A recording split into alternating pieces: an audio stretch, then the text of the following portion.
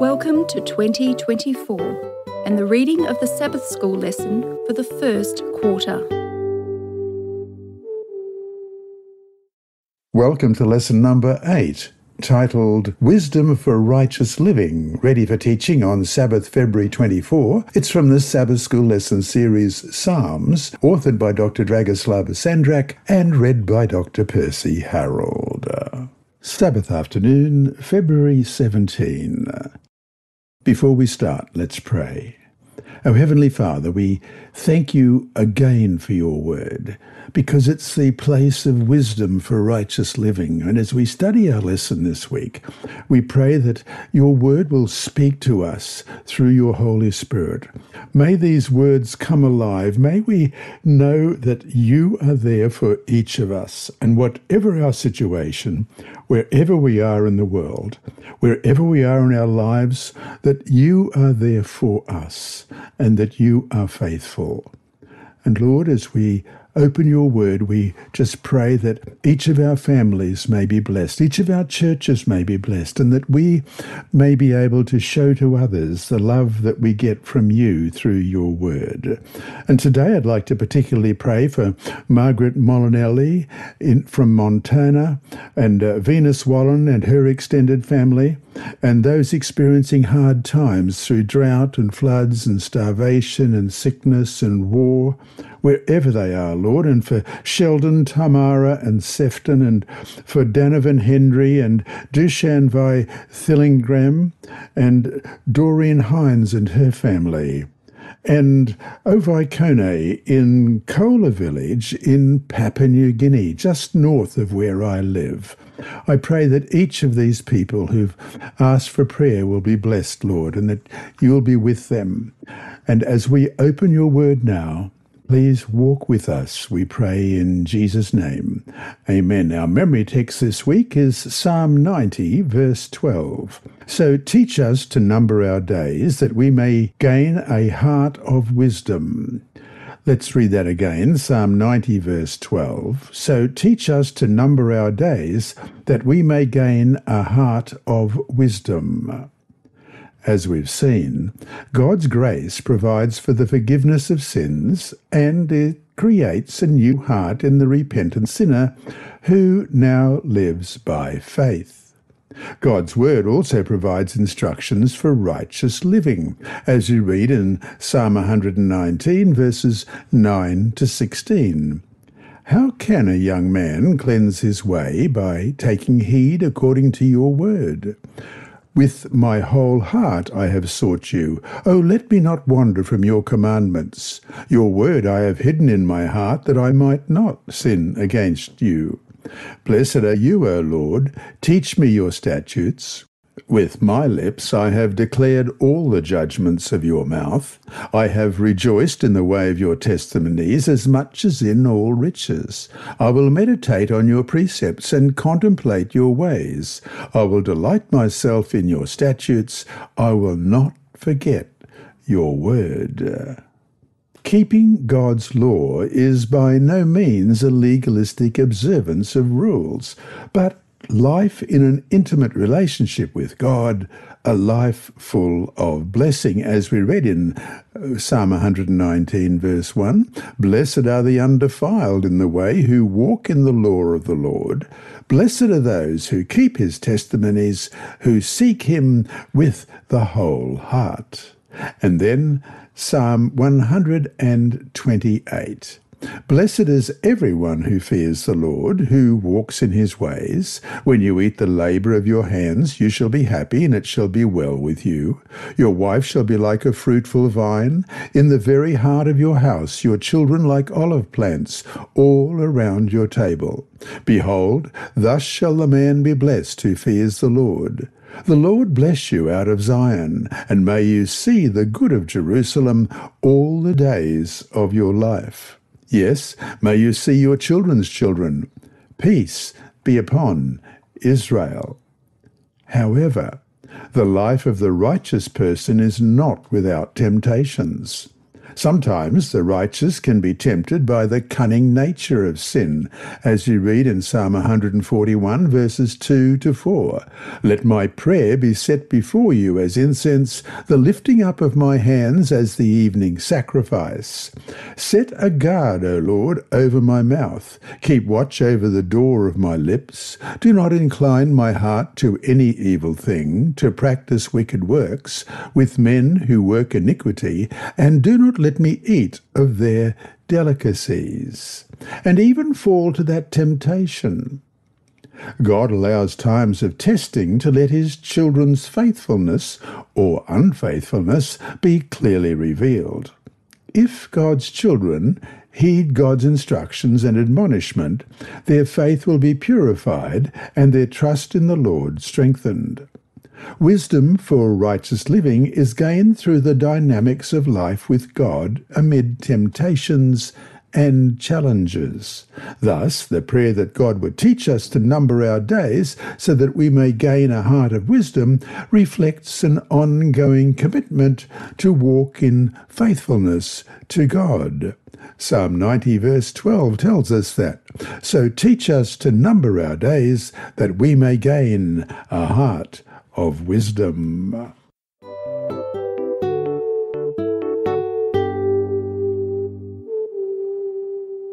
Sunday, February 8. Your word I have hidden in my heart. Read Psalm 119, verses 1 to 16, and verses 161 to 168. How should we keep God's commandments? And what are the blessings that come from doing that? Psalm 119, beginning at verse 1 Blessed are the undefiled in the way, who walk in the law of the Lord. Blessed are those who keep his testimonies, who seek him with the whole heart. They also do not iniquity. They walk in his ways. You have commanded us to keep your precepts diligently. Oh, that my ways were directed to keep your statutes. Then I would not be ashamed when I look into all your commandments. I will praise you with uprightness of heart when I learn your righteous judgments. I will keep your statutes. Oh, do not forsake me utterly. How can a young man cleanse his way? By taking heed according to your word. With my whole heart I have sought you. Oh, let me not wander from your commandments. Your word I have hidden in my heart, that I might not sin against you. Blessed are you, O Lord. Teach me your statutes. With my lips I have declared all the judgments of your mouth. I have rejoiced in the way of your testimonies, as much as in all riches. I will meditate on your precepts and contemplate your ways. I will delight myself in your statutes. I will not forget your word. And verses 161 to 168. Princes persecute me without a cause, but my heart stands in awe of your word. I rejoice at your word as one who finds great treasure. I hate and abhor lying, but I love your law.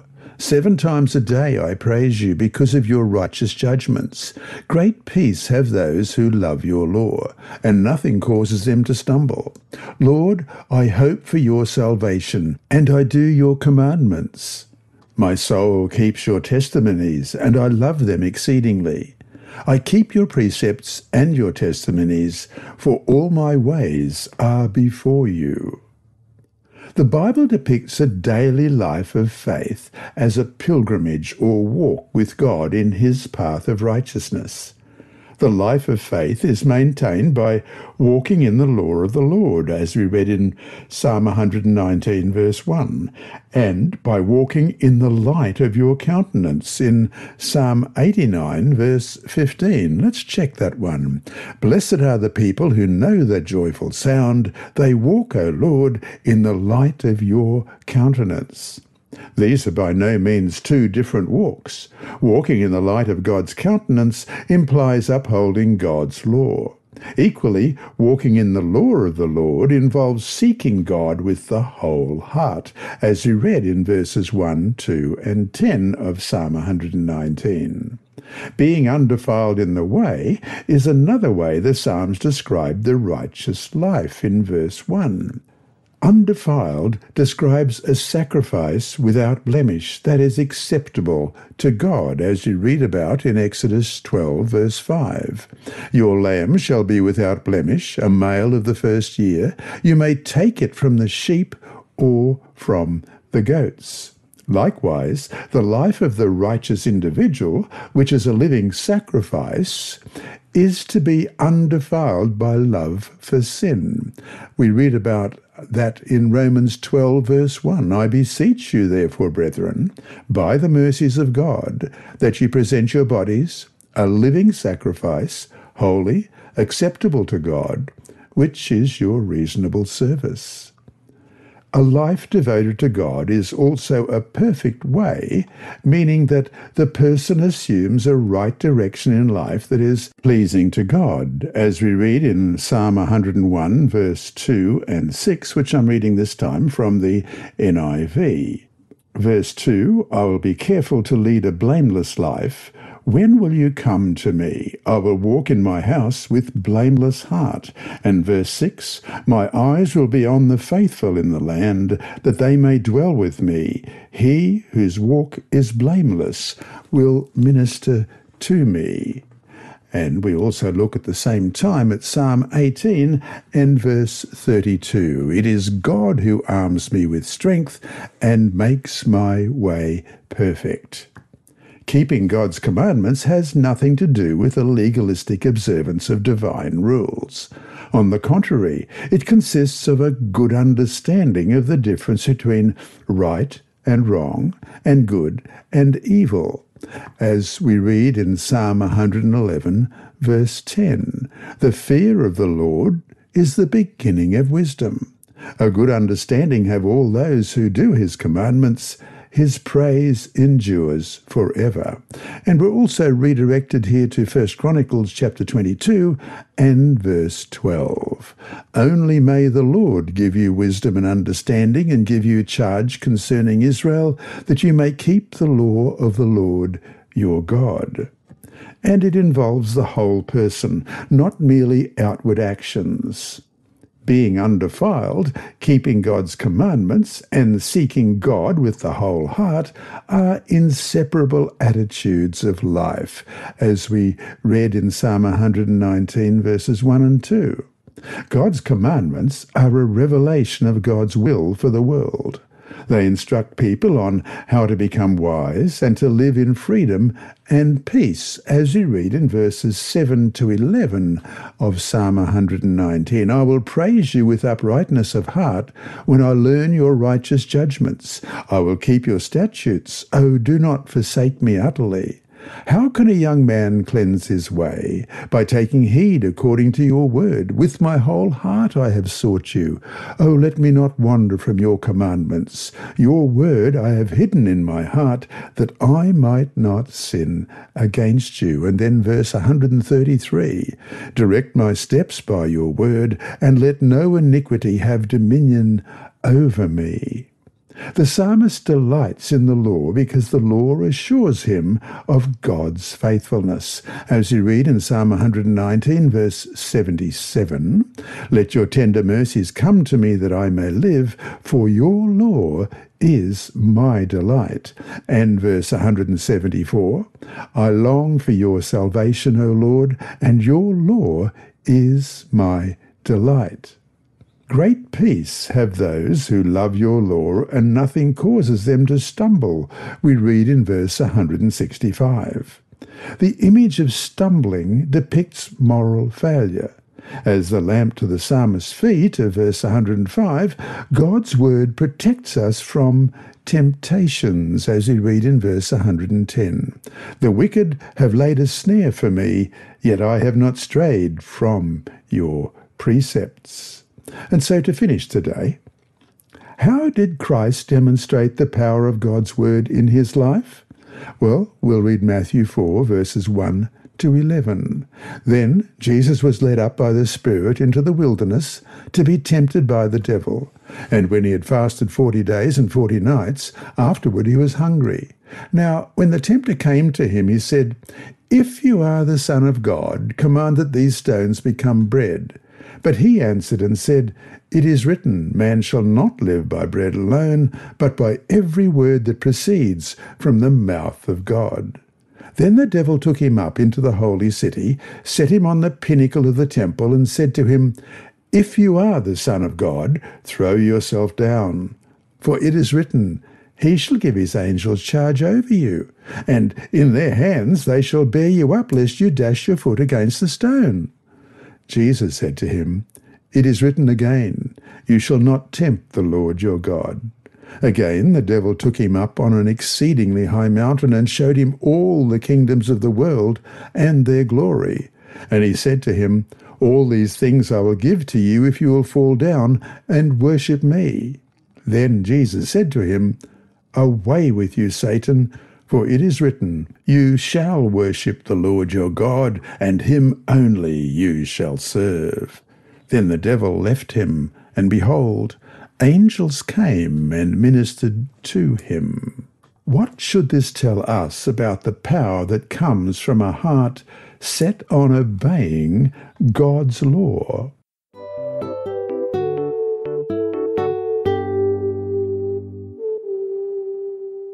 Monday, February 19. Teach us to number our days. Read Psalm 90, Psalm 102, verse 11, and Psalm 103, verses 14 to 16. What is the human predicament?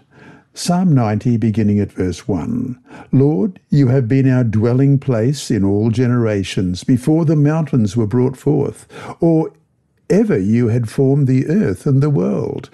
Even from everlasting to everlasting, you are God. You turn man to destruction and say, Return, O children of men, for a thousand years in your sight are like yesterday when it is past, and like a watch in the night. You carry them away like a flood. They are like asleep. In the morning, they are like grass which grows up. In the morning, it flourishes and grows up. In the evening, it is cut down and withers. For we have been consumed by your anger, and by your wrath we are terrified. You have set our iniquities before you, our secret sins in the light of your countenance. For all our days have passed away in your wrath. We finish our years like a sigh. The days of our lives are seventy years, and if by reason of strength they are eighty years, yet their boast is only labour and sorrow, for it is soon cut off, and we fly away. Who knows the power of your anger? For as the fear of you, so is your wrath. So teach us to number our days, that we may gain a heart of wisdom. Return, O Lord, how long? And have compassion on your servants. O satisfy us early with your mercy, that we may rejoice and be glad all our days. Make us glad according to the days in which you have afflicted us, the years in which we have seen evil. Let your work appear to your servants, and your glory to their children. And let the beauty of the Lord our God be upon us, and establish the work of our hands for us. Yes, establish the work of our hands. And Psalm 102, verse 11 My days are like a shadow that lengthens, and I wither away like grass. And Psalm 103, verses 14 to 16 For he knows our frame, he remembers that we are dust. As for man, his days are like grass, as a flower of the field, so he flourishes. For the wind passes over it, and it is gone and its place remembers it no more. Fallen human existence is but a vapour in the light of eternity. A thousand years in God's sight is like a watch in the night, which lasted three or four hours. We read in verse 4 For a thousand years in your sight are like yesterday when it is past, and like a watch in the night. Compared to divine time, a human lifetime flies away, we read in verse 10. Uh, the days of our lives are 70 years, and if by reason of strength they are 80 years, yet their boast is only labour and sorrow, for it is soon cut off, and we fly away. The strongest among humans are analogous to the weakest among plants, we read in verses 5 and 6. And in Psalm 103, verses 15 and 16, we read, as for man, his days are like grass, as a flower of the field, so he flourishes, for the wind passes over it and is gone, and its place remembers it no more. Yet even that short life is filled with labour and sorrow, we read in verse 10 of Psalm 90. Even secular people who have no belief in God mourn and lament the shortness of life, especially in contrast to the eternity that's out there and that they know threatens to go on without them. Psalm 90 places the human predicament in the context of God's care for people as their creator.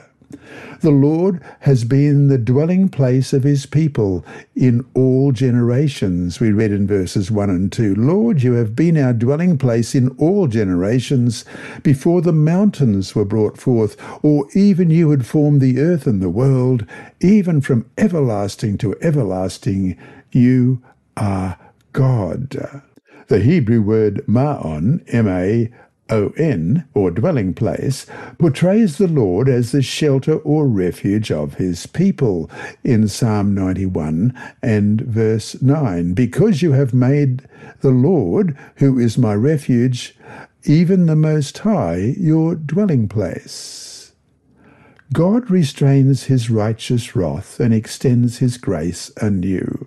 The psalmist exclaims, Who knows the power of your anger? in Psalm 90, verse 11, implying that no one has ever experienced the full effect of God's anger against sin, and so there is hope for people to repent and gain wisdom for righteous living. Wisdom in the Bible depicts not merely intelligence, but reverence for God. The wisdom that we need is knowing how to number our days, we read in verse 12 of Psalm 90. If we can number our days, it means that our days are limited and that we know that they are limited. Wise living means living with an awareness of life's transience that leads to faith and obedience.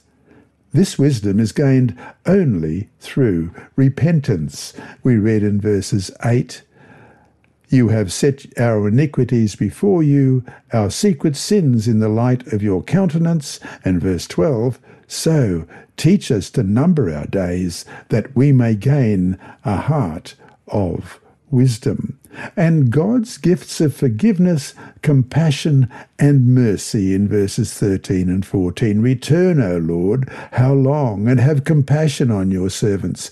O satisfy us early with your mercy, that we may rejoice and be glad all our days. Our fundamental problem stems not from the fact that we are created as human beings, but from sin and from what sin has wrought in our world. Its devastating effects are seen everywhere and in every person. Thanks to Jesus, however, a way has been made for us out of our human predicament, as we read in John chapter 1 and verse 29. The next day John saw Jesus coming toward him and said, Behold, the Lamb of God who takes away the sin of the world. And John 3 verses 14 to 21. And as Moses lifted up the serpent in the wilderness, even so must the Son of Man be lifted up that whoever believes in him should not perish, but have eternal life. For God so loved the world that he gave his only begotten Son, that whoever believes in him should not perish, but have everlasting life. For God did not send his Son into the world to condemn the world, but that the world through him might be saved. He who believes in him is not condemned, but he who does not believe is condemned already, because he has not believed in the name of the only begotten Son of God. And this is the condemnation, that the light has come into the world, and men love darkness rather than light, because their deeds were evil. For everyone practicing evil hates the light, and does not come to the light, lest his deeds should be exposed. But he who does the truth comes to the light, that his deeds may be clearly seen, that they have been done in God. Otherwise, we would have no hope at all. And so to finish the day, no matter how quickly our life passes, what promise do we have in Jesus? And what hope would we have without him? We find that in John 3:16.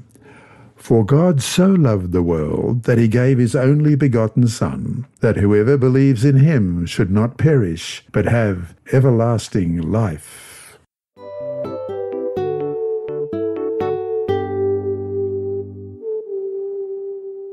Tuesday, February 20. The Lord's Test. Read Psalm 81 verses 7 and 8, 95 verses 7 to 11, 105 verses 17 to 22. What does divine testing involve in these texts? First of all, Psalm 81 verses 7 to 8. You called in trouble, and I delivered you. I answered you in the secret place of thunder. I tested you at the waters of Meribah. Selah. Hear, O my people, and I will admonish you, O Israel, if you will listen to me and Psalm 95, verses 7 to 11. For he is our God, and we are the people of his pasture, and the sheep of his hand. Today, if you will hear his voice, do not harden your hearts as in the rebellion, as in the day of trial in the wilderness. When your fathers tested me, they tried me, though they saw my work. For forty years I was grieved with that generation, and said, It is a people who go astray in their hearts, and they do not know my ways. So I swore in my wrath, they shall not enter my rest. And Psalm 105, beginning at verse 17. He sent a man before them, Joseph, who was sold as a slave. They hurt his feet with fetters. He was laid in irons until the time that his word came to pass. The word of the Lord tested him. The king sent and released him. The ruler of the people let him go free.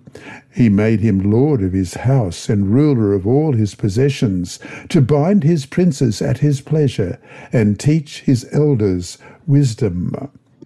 Meribah is a place where Israel tested God by challenging his faithfulness and power to provide for their needs, as we read in Exodus 17, verses 1 to 7. Then all the congregation of the children of Israel set out on their journey from the wilderness of Sin, according to the commandment of the Lord, and camped in Rephidim.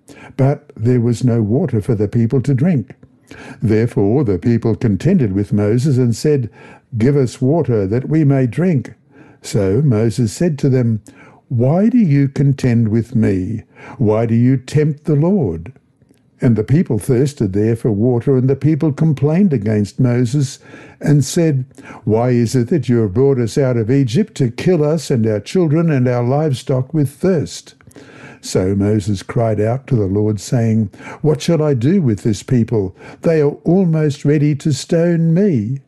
And the Lord said to Moses, Go on before the people, and take with you some of the elders of Israel. Also take in your hand your rod with which you struck the river, and go. Behold, I will stand before you there on the rock in Horeb, and you shall strike the rock, and water will come out of it, that the people may drink. And Moses did so in the sight of the elders of Israel. So he called the name of the place Massah and Meribah, because of the contention of the children of Israel, and because they tempted the Lord, saying, Is the Lord among us or not? And then Psalm 95, verses 8 and 9, and I'm reading from the New Living Translation. The Lord says, Don't harden your hearts, as Israel did at Meribah, as they did at Massah in the wilderness. For there your ancestors tested and tried my patience, even though they saw everything I did. Psalm 81 makes an intriguing reversal and interprets the same event as the time when God tested Israel in Psalm 81, verse 7. And by their disobedience and lack of trust, in verse 11, the people failed God's test. The reference to Meribah conveys a twofold message. First, God's people must not repeat the mistakes of past generations. Instead, they are to trust God and walk in His way, as we read in Psalm 81 and verse 13. Oh, that my people would listen to me, that Israel would walk in my ways. Second, although the people failed the test, God came to their rescue when they were in trouble we read in verse 7. God's saving grace in the past gives an assurance of God's grace to new generations. Psalm 105 shows that the trials were God's means of testing Joseph's trust in God's foretelling of his future. As we read in Genesis 37 5 to 10, now Joseph had a dream, and he told it to his brothers, and they hated him even more. So he said to them, Please hear this dream which I have dreamed. There we were, binding the sheaves in the field. Then behold, my sheaf arose and also stood upright, and indeed your sheaves stood up around and bowed down to my sheaf. And his brothers said to him, Shall you indeed reign over us, or shall you indeed have dominion over us? So they hated him even more for his dreams and for his words.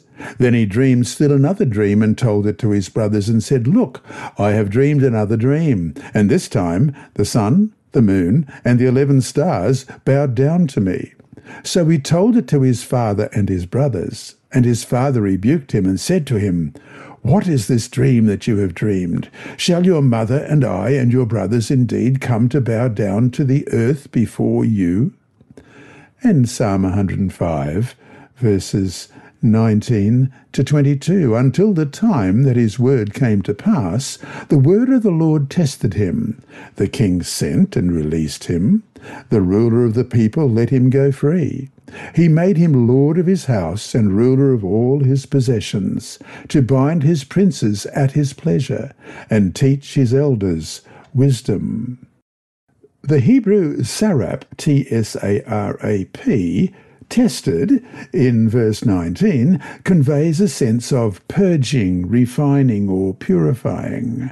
Thus, the goal of God's testing of Joseph's faith was to remove any doubt in God's promise and to strengthen Joseph's trust in God's guidance. The goal of divine discipline is to strengthen God's children and to prepare them for the fulfillment of the promise as shown in Joseph's example in verses 20 to 22 that we've just read. However, rejection of God's instruction results in growing stubbornness and hardening of an obstinate person's heart. Ellen White wrote in Testimonies for the Church, Volume 4, page 146 God requires prompt and unquestioning obedience of His law. But men are asleep or paralyzed by the deceptions of Satan, who suggests excuses and subterfuges and conquers their scruples, saying, as he said to Eve in the garden, You shall not surely die. Disobedience not only hardens the heart and conscience of the guilty one, but it tends to corrupt the faith of others. That which looked very wrong to them at first gradually loses this appearance by being constantly before them, till finally they question whether it is really sin and unconsciously fall into the same error. End of quote. And so to finish today, what has been your own experience with how sin hardens the heart? Why should that thought drive us to the cross, where we can find the power to obey?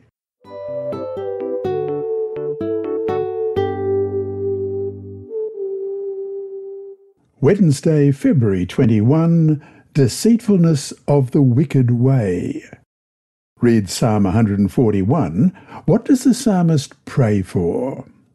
Psalm 141, beginning at verse 1 Lord, I cry out to you. Make haste to me. Give ear to my voice when I cry out to you. Let my prayer be set before you as incense, the lifting up of my hands as the evening sacrifice. Set a guard, O Lord, over my mouth. Keep watch over the door of my lips. Do not incline my heart to any evil thing, to practice wicked works with men who work iniquity. And do not let me eat of their delicacies. Let the righteous strike me. It shall be a kindness, and let them rebuke me. It shall be as excellent oil. Let my head not refuse it. For still my prayer is against the deeds of the wicked. Their judges are overthrown by the sides of the cliff, and they hear my words, for they are sweet. Our bones are scattered at the mouth of the grave, as when one ploughs and breaks up the earth. But my eyes are upon you, O God, the Lord. In you I take refuge. Do not leave my soul destitute. Keep me from the snares they have laid for me, and from the traps of the workers of iniquity. Let the wicked fall into their own nets, while I escape safely. Psalm 141 is a prayer for protection from temptations from within and from without. The psalmist is not only endangered by the schemes of the wicked, as in verses 9 and 10, keep me from the snares they have laid for me, and from the traps of the workers of iniquity, let the wicked fall into their own nets, while I escape safely, but also is tempted to act like the wicked. The first weak point is self control in speech, and the psalmist prays that the Lord will keep watch over the door of his lips. In verse 3, Set a guard, O Lord, over my mouth, keep watch over the door of my lips. This image alludes to the guarding of city gates that, in biblical times, protected the city. The temptation is also whether God's child will yield to the counsel of the righteous or be lured by the delicacies of the wicked. As you read in verses 4 and 5, do not incline my heart to any evil thing, to practice wicked works with men who work iniquity, and do not let me eat of their delicacies. Let the righteous strike me. It shall be a kindness, and let them rebuke me. It shall be as excellent oil. Let my head not refuse it. For still my prayer is against the deeds of the wicked. The psalmist depicts his heart as a primary threat because there the real battle happens. Only unceasing prayer of complete trust and devotion to God can save God's child from temptation. We read in verse 2 Let my prayer be set before you as incense, the lifting up of my hands as the evening sacrifice. Read Psalm 1 verse 1 and 141 verse 4. What is the progressive and cunning character of temptation depicted here? First of all, Psalm 1 verse 1 Blessed is the man who walks not in the counsel of the ungodly, nor stands in the path of sinners, nor sits in the seat of the scornful. And Psalm 141 verse 4 Do not incline my heart to any evil thing, to practice wicked works with men who work iniquity, and do not let me eat of their delicacies. Psalm 141, verse 4, depicts the progressive nature of temptation. First, the heart is inclined toward evil. Second, it practices evil deeds. The meaning in Hebrew underlines the repetitive character of the action. And third, the heart eats of the delicacies of the wicked, namely, accepts their evil practices as something desirable. Likewise, in Psalm 1 verse 1, the temptation comes to prevent God's child from walking in the Lord's way by causing him to walk with the wicked, stand in the path of the sinners, and finally sit with the scornful. Sinners, wicked, and scornful. We are not to be like them or let them lead us away from the Lord. These psalms describe the progressive, alluring, and cunning character of temptation, which underscores the fact that only total dependency on the Lord can secure one's victory. They stress the importance of the words that one speaks and listens to amid temptation. The end of both the wicked and the righteous should teach the people to seek wisdom from God, as we read in Psalm 1, verses 4 to 6. The ungodly are not so, but are like the chaff which the wind drives away. Therefore the ungodly shall not stand in the judgment, nor sinners in the congregation of the righteous. For the Lord knows the way of the righteous, but the way of the ungodly shall perish. And Psalm 141, verses 8 to 10. But my eyes are upon you, O God the Lord. In you I take refuge. Do not leave my soul destitute. Keep me from the snares they have laid for me, and from the traps of the workers of iniquity. Let the wicked fall into their own nets, while I escape safely. Yet in both Psalms, the final vindication of God's children remains in the future. And so to finish today, this means that the believers are called to patiently trust God and to wait upon Him.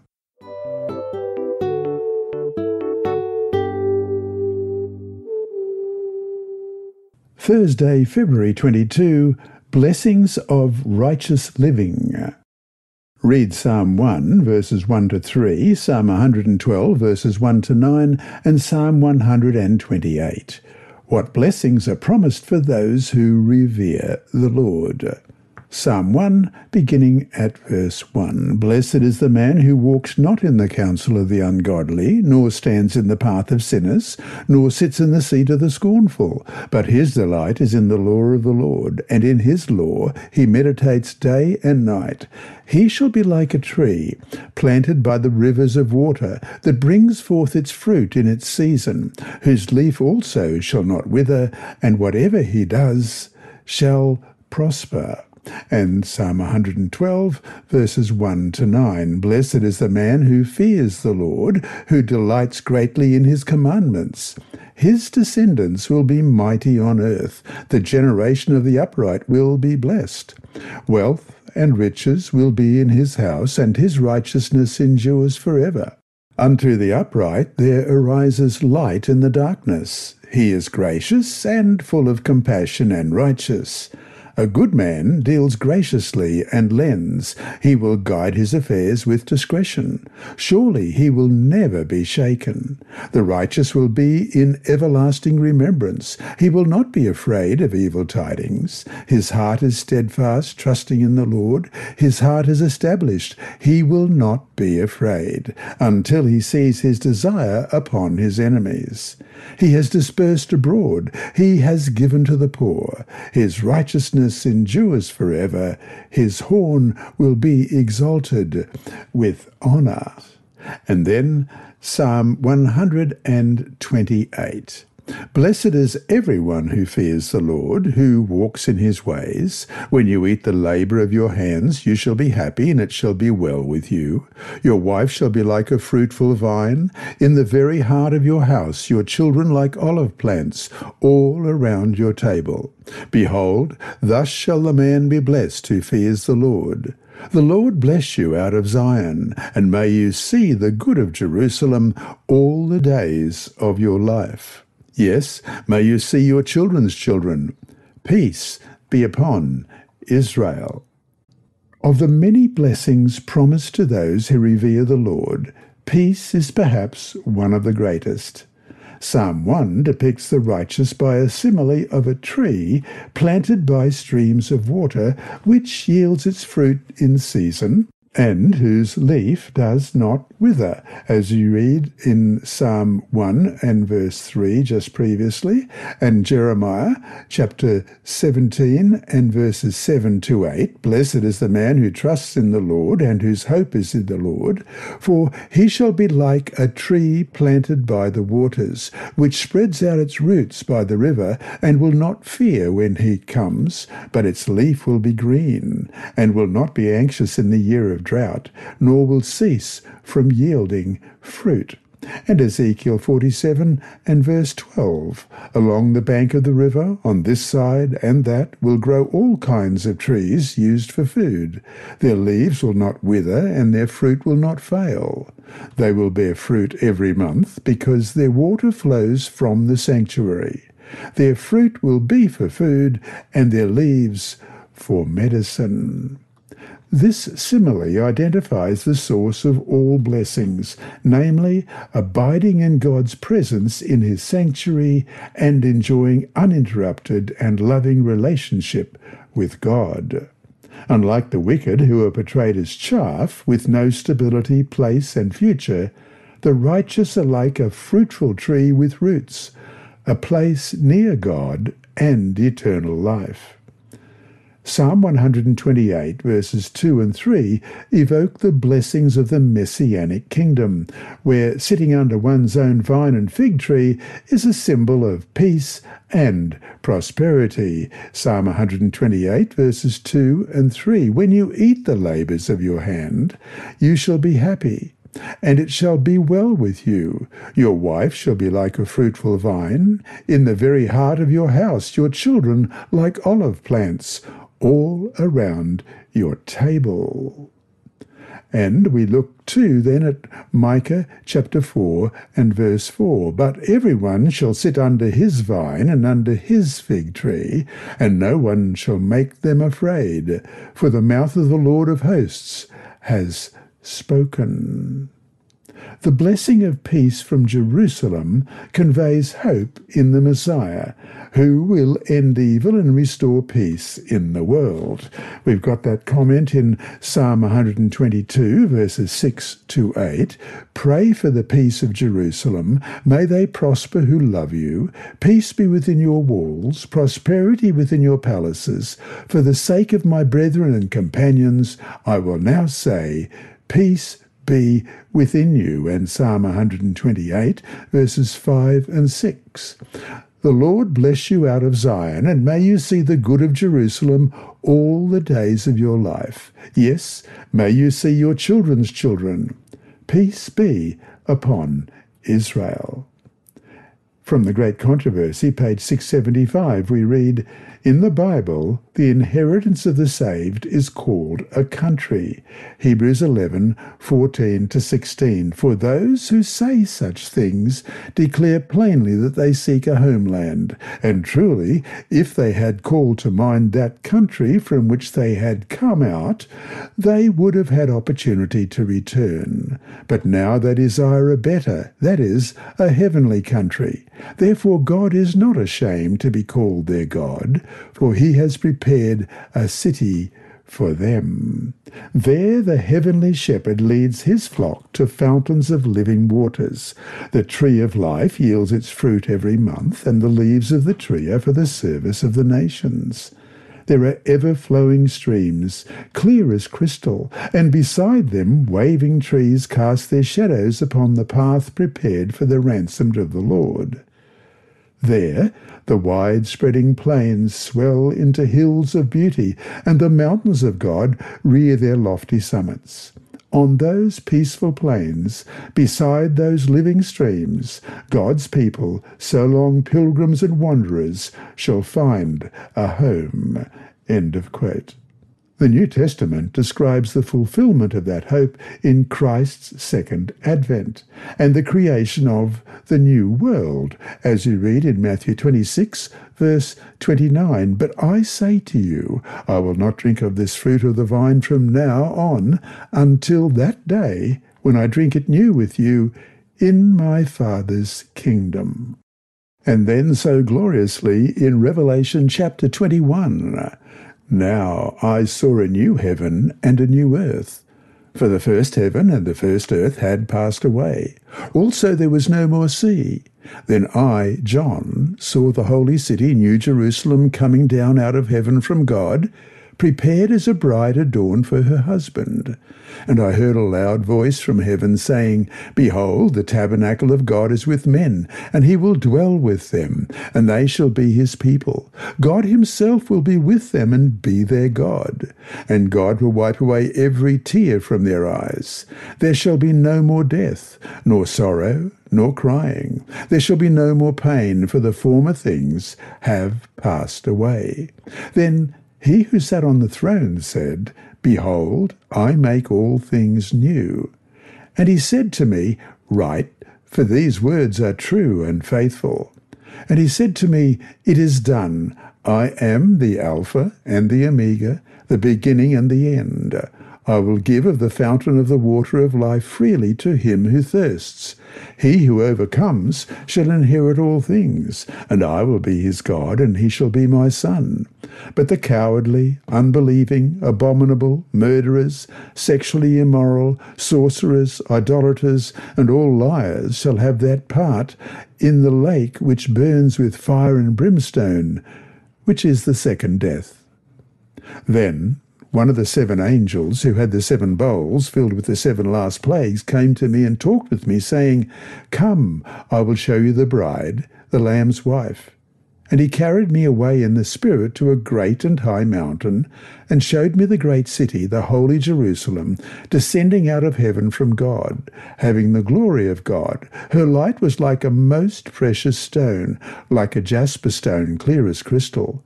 Also, she had a great and high wall with twelve gates, and twelve angels at the gates, and names written on them, which are the names of the twelve tribes of the children of Israel. Three gates on the east, three gates on the north, three gates on the south, and three gates on the west. Now, the wall of the city had twelve foundations, and on them were the names of the twelve apostles of the Lamb. And he who talked with me had a gold reed to measure the city, its gates, and its wall. The city is laid out as a square. Its length is as great as its breadth.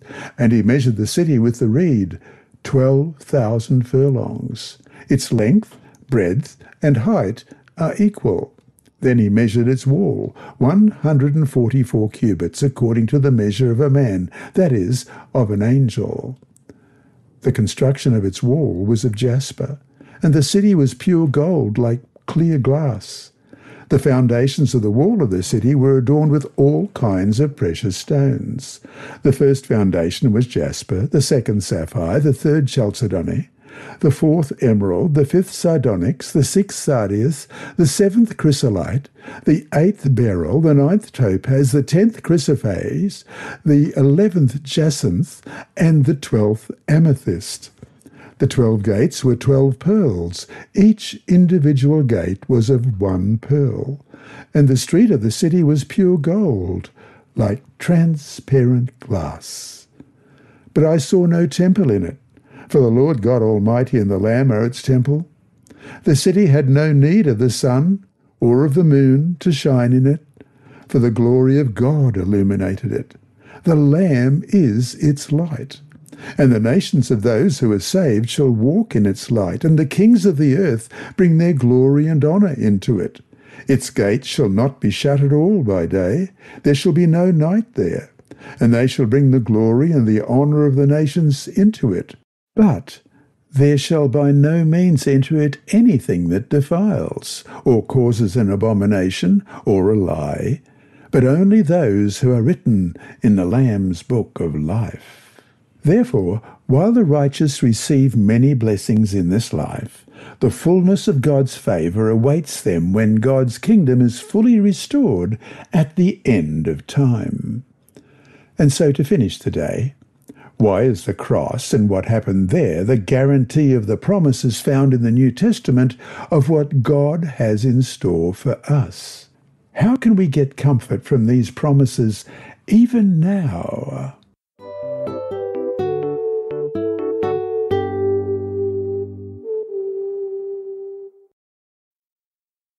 Friday, February 23. Further thought. In these modern times, obtaining wisdom seems not to be so desirable as achieving happiness. People would rather be happy than wise. However, can we truly be happy and live a fulfilled life without godly wisdom? The Psalms clearly say that we cannot. The good news is that we are not asked to choose between wisdom and happiness. Godly wisdom brings genuine happiness. A simple example from the Hebrew language can illustrate this point. In Hebrew, the word step in plural ashurey, A-S-H-U-R-E-Y, sounds very much like the word happiness, ashrei, A-S-H-R-E-Y. Although we miss this association in English translations, it conveys a powerful message. Steps holding to God's path leads to a happy life. And we have some references here to look at. The first is Psalm 1, verse 1. Blessed is the man who walks not in the counsel of the ungodly, nor sits in the path of sinners, nor sits in the seat of the scornful. And Psalm 17, verse 5. Uphold my steps in your paths, that my footsteps may not slip. And Psalm 37, verse 31 The law of his God is in his heart, none of his steps shall slide. And Psalm 44, verse 18 Our heart has not turned back, nor have our steps departed from your way. And Psalm 89, verse 15 Blessed are the people who know the joyful sound. They walk, O Lord, in the light of your countenance. And Psalm 119, verse 1. Blessed are the undefiled in the way who walk in the law of the Lord. In the Bible, neither wisdom nor happiness are an abstract concept. They are a real experience. They are found in relationship with God, which consists of revering, praising, finding strength in, and trusting God. Psalm 25:14 says that the secret of the Lord is with those who fear him, and he will show them his covenant. Thank God, Ellen White writes in Steps to Christ, page 118, for the bright pictures which he has presented to us. Let us group together the blessed assurances of his love, that we may look upon them continually the Son of God, leaving his Father's throne, clothing his divinity with humanity, that he might rescue man from the power of Satan, his triumph in our behalf, opening heaven to men, revealing to human vision the presence chamber where the deity unveils his glory, the fallen race uplifted from the pit of ruin into which sin had plunged it, and brought again into connection with the infinite God, and having endured the divine test through faith in our Redeemer, clothed in the righteousness of Christ, and exalted to his throne. These are the pictures which God would have us contemplate. End of quote. And that brings us to our three discussion questions for this week. One, how can God's Word become the source of one's delight and not merely instruction? How is feeding on God's Word related to abiding in Jesus Christ, the Word? First of all, we look at John 1 and verse 1. In the beginning was the Word, and the Word was with God, and the Word was God. And John 15, verse 5 I am the vine, you are the branches. He who abides in me, and I in him, bears much fruit. For without me you can do nothing. And verse 7 If you abide in me, and my words abide in you, you will ask what you desire, and it shall be done for you. Question two What happens when people consciously and constantly reject God's teaching? Why do you think that happens? Psalm 81. Sing aloud to God our strength. Make a joyful shout to the God of Jacob. Raise a song and strike the timbrel, the pleasant harp with the lute. Blow the trumpet at the time of the new moon, at the full moon on our solemn feast day. For this is a statute for Israel, a law of the God of Jacob. This he established in Joseph as a testimony when he went throughout the land of Egypt, where I heard a language I did not understand. I removed his shoulder from the burden, his hands were freed from the baskets. You called in trouble, and I delivered you. I answered you in the secret place of thunder. I tested you at the waters of Meribah. Selah. Hear, O my people, and I will admonish you, O Israel, if you will listen to me. There shall be no foreign God among you, nor shall you worship any foreign God. I am the Lord your God, who brought you out of the land of Egypt. Open your mouth wide, and I will fill it. But my people would not heed my voice, and Israel would have none of me. So I gave them over to their own stubborn heart, to walk in their own counsels. Oh, that my people would listen to me, that Israel would walk in my ways. I would soon subdue their enemies and turn my hand against their adversaries. The haters of the Lord would pretend submission to him, but their fate would endure forever. He would have fed them also with the finest wheat and with honey. From the rock I would have satisfied you and Psalm 95. Oh, come, let us sing to the Lord. Let us shout joyfully to the rock of our salvation. Let us come before his presence with thanksgiving. Let us shout joyfully to him with psalms. For the Lord is the great God, and the great King above all gods.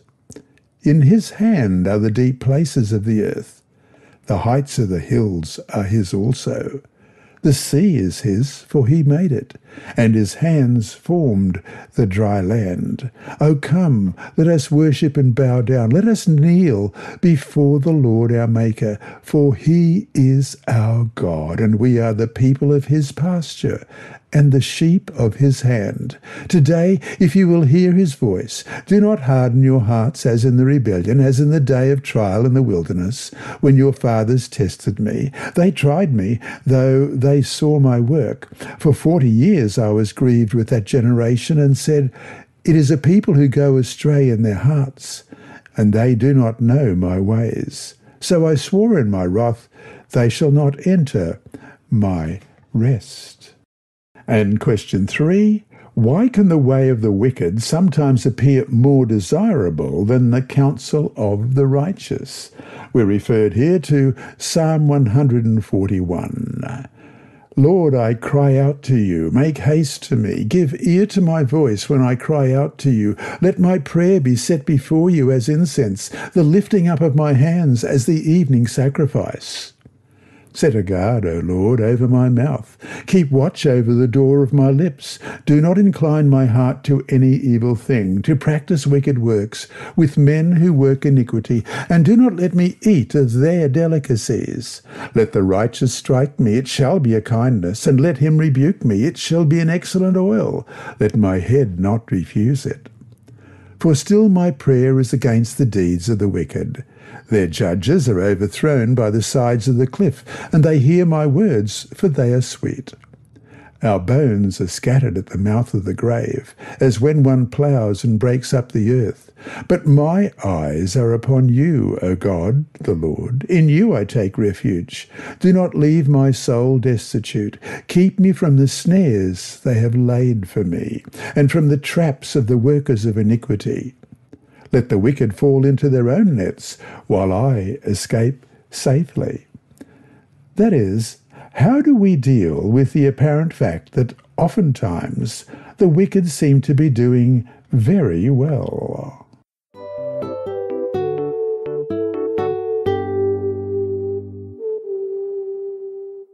And now it's time for Inside Story with Sybilla Harrold. Thank you, Sybilla. Sabbath Farewell Party, Part 4 by Andrew McChesney. Two weeks after Sekula's baptism, the Bosnia War erupted. Sekula fled his boarding high school in Sarajevo, capital of Bosnia and Herzegovina, and went into hiding for 15 days. When he returned to the dormitory to retrieve his possessions, he found the building had been torched by soldiers. A small library of religious books that he had collected while seeking to find truth had been dumped in the middle of his room and set on fire. He had lost everything. He returned to his home village in Montenegro. News that Sekula had joined the Seventh day Adventist Church did not sit well with his family. Father could not understand why he had stopped eating meat and took him to a physician. Mother thought a spell had been cast on her son and sought help from someone who practiced black magic. When their attempts failed, they sent Sekula to the military, it was 1992 and the Bosnian War was raging. To enlist a son was to send him to war. In those days, families threw big celebrations for newly enlisted soldiers. Sekula's parents planned his party for a Sabbath in December. 200 guests were expected, but Sekula went to church. When the winter sun set around 4 p.m., he returned home. He didn't know what to expect. He thought that the house would be filled with the relatives from across the country and beyond. He thought he would face criticism for not only arriving late to his own party, but also for showing disrespect as the oldest grandson. He found his grandfather on the front porch. Did the people come? Sekula asked. No. No? No. Why not? No one knows why. Then people started coming. Sekula asked them, Why are you coming now? They all replied in the same way. Somebody told us to come after 5 p.m. Who told you? Sekula asked. No one knew. At that moment, Sekula understood that God would protect him and he went to the military. Sekula Sekulic is an affluent entrepreneur and faithful Seventh Adventist in Montenegro. Read more of his story next week, and thank you for your Sabbath School mission offerings that help spread the, God, the good news of Jesus soon coming in Montenegro and around the world.